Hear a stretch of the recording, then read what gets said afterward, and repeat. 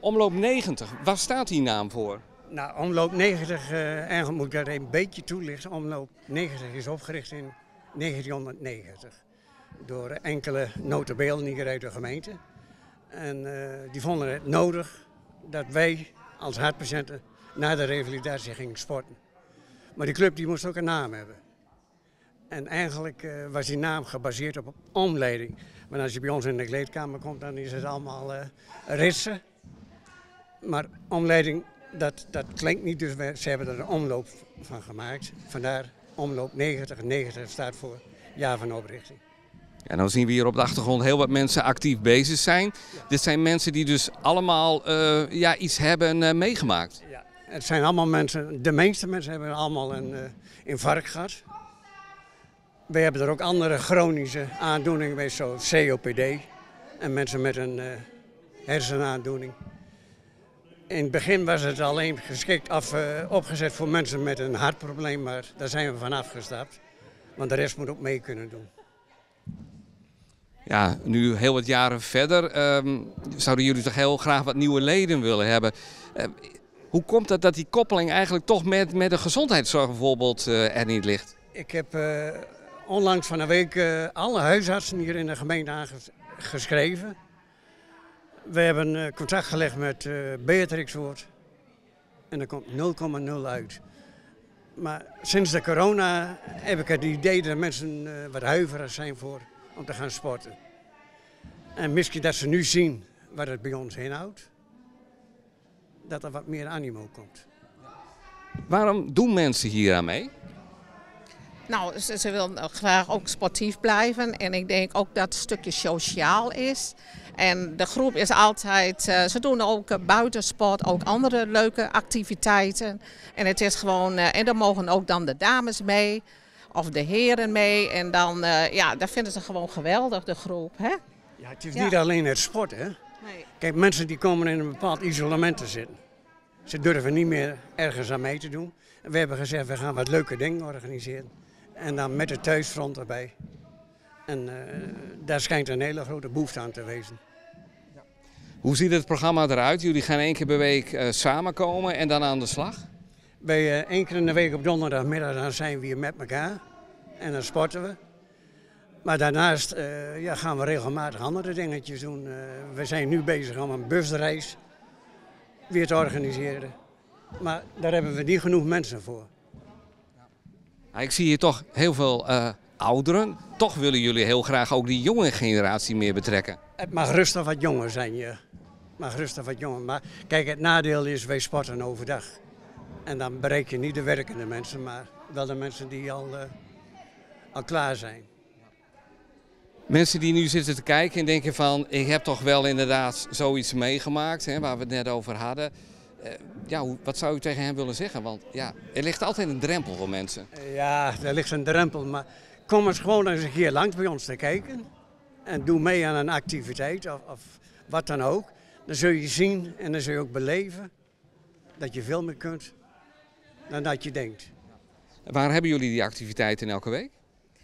Nou, elke week hebben we dus niet die activiteiten. Maar uh, nou, we hebben laatst dus een nieuwsjaarsvisite uh, gehad, zeg maar. En uh, dat is ook altijd, komen de leden ook altijd, altijd, altijd heel gezellig. Dus ja, en dan straks weer in mei misschien de, de busreis. Ja. En ja. we zijn net bij Gees geweest.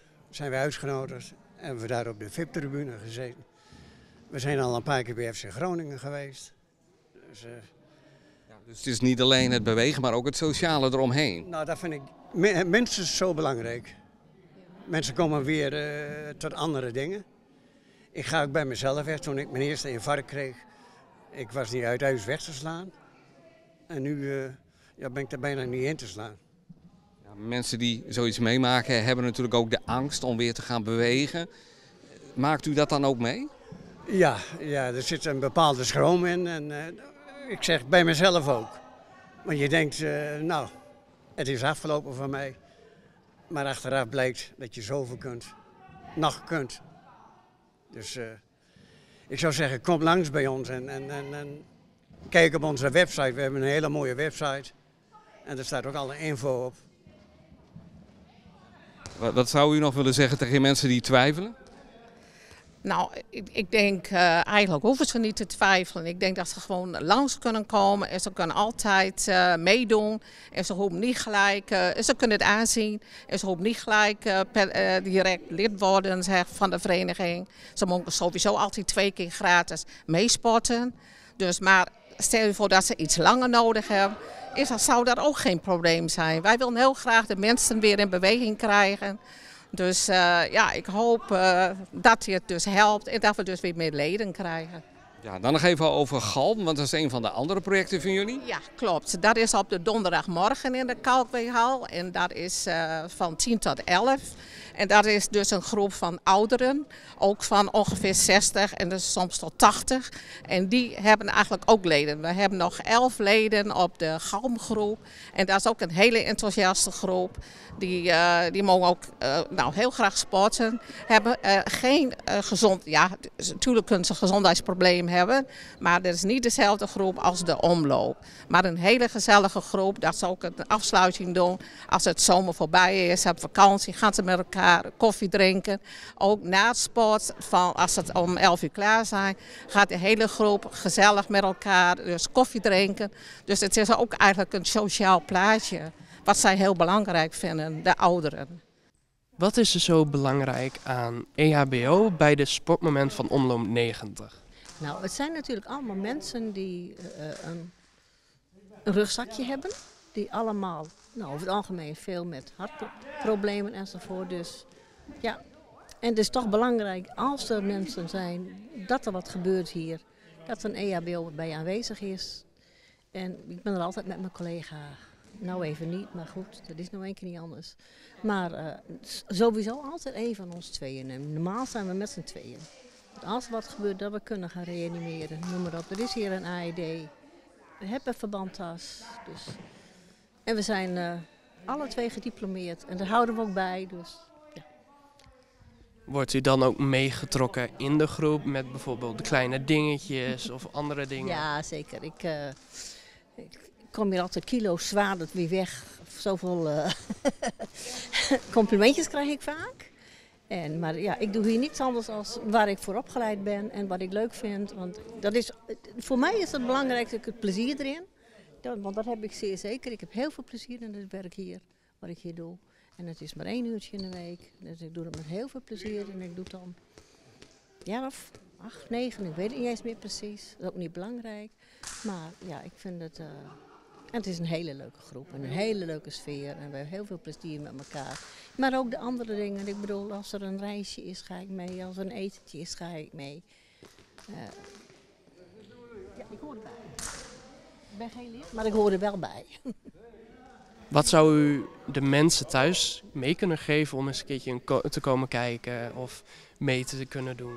Nou, vooral als je zin hebt om te gaan bewegen en zeker als het misschien al langere tijd geleden is dat je aan beweging hebt gedaan. Het gaat hier allemaal op je eigen tempo en er is, nou ja, adequate hulp aanwezig als er wat gebeurt. Want kijk, hier struikelt ook wel eens een keer iemand, tuurlijk. Plak ook wel eens een keer een pleistertje. Maar uh, het, voornamelijk is uh, dat de mensen weer plezier in het bewegen krijgen. Want dat is voor heel veel van deze mensen. Uh, vooral als mensen die pas binnenkomen, dan zie je ze nog heel voorzichtig zijn. En, en, en een beetje angstig. Maar na verloop van tijd, dan zie je ze ja, als het ware ontdooien. En zeggen van ja, ik heb er weer vertrouwen in. En ik ben blij dat ik daar mijn steentje aan bij kan dragen. Wat vindt u zo fijn aan deze club? Uh, lekker samen bewegen.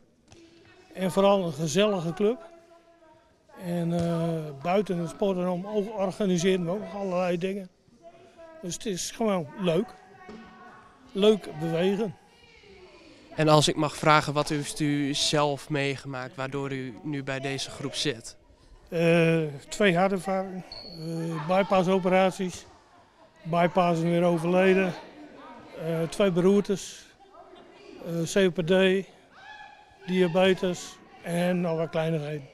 Nou, ik ben hier gekomen. ongeveer tien jaar geleden heb ik een hartoperatie gehad. En na die tijd in het Martinis ziekenhuis krijg je dan de revalidatie, tien weken ongeveer. En na de revalidatie werd uh, de suggestie gedaan, als het kan, moet je naar een sportvereniging of iets dergelijks gaan om uh, nou toch actief te blijven. Hè? Want stilzitten na een hartinfarct is niet goed, dus je moet proberen te blijven bewegen. En dat is voor mij dus de reden geweest dat ik mij aangemeld heb bij deze club, Omloop 90. Merkt u dat u nu bij deze club zit ook steeds meer mensen tegenkomt die hetzelfde mee hebben gemaakt of uh, het soortzelfde? Nou, niet zoveel als ik, maar dan onderdelen ervan. Dus de meeste mensen hier hebben iets met, uh, met het hart gehad. En ik ben een van de weinigen die dus, uh, dus ook nog beroertes erbij gehad heeft. Maar goed, dat is gewoon een kwestie. Hier is een kwestie. Doen wat je kunt. En gaat het even niet, dan gaan we even aan de kant zitten. Ja, vind ik wel.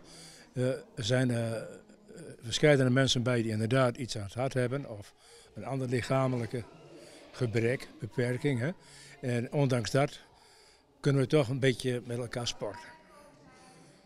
Oh, dat vind ik een pluspunt. Ik heb altijd gesport eigenlijk, daar komt het op neer. Totdat er een moment komt dat je denkt, hé, hey, het gaat toch niet meer zo geweldig. Hè? En nou, dit is echt een, een, moment om even weer naar uit te kijken. Om ook met mijn beperkingen datgene nog te doen wat je dan kunt doen. En ook wat u zegt van, uh, je bent met een club. En dat, dat brengt toch een beetje een sociaal gevoel met je mee van, nou ja, ik hoor erbij.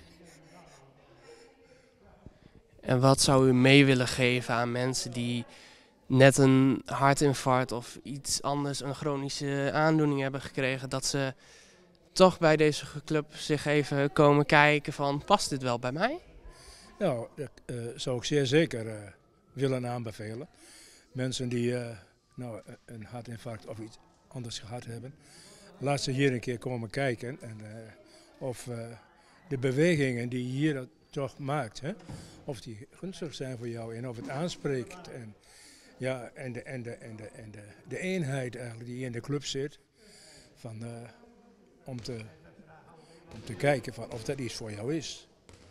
Dus ik, ik kan er iedereen aanraden, kom. Nou, vooral dus komen kijken. Je mag ook rustig eens een uh, gratis uh, proeflesje meedoen. En uh, ja, kijk gewoon even of dit iets voor je is. Je ziet het, we doen geen ingewikkelde dingen. We doen gewoon leuke dingen. En vooral buiten de sporten om hebben we af en toe een uitje, een etentje, eh, noem maar op. En er zitten de partners dan ook bij. Dus dan is het gewoon een gezellige club. Jongens, lachen mag hè?